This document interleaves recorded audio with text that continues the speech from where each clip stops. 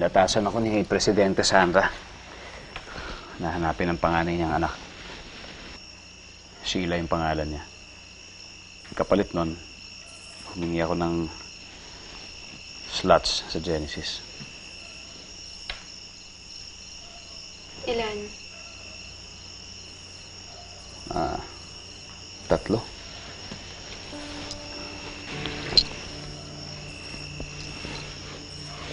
Para sa ating tatlo ni Ossie? Hmm?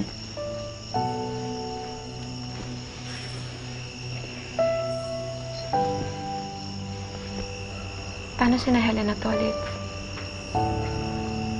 Hindi ba natin makakasama mga kaibigan mo? Kaya na nga eh. Pagdating doon, susubukan kong kausapin siya ulit. Baka mapagbigyan niya yung mga kaibigan natin. Susubukan ko. Pero wala namang kasiguraduhan yan.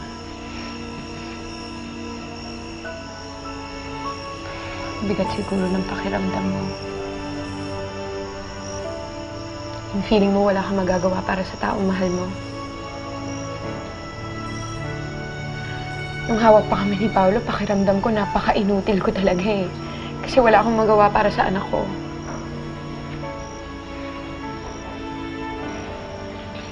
Pero buti na lang dumating ka.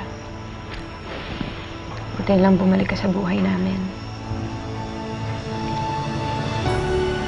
At kahit kailan, hindi na tayo magkakahiwalay.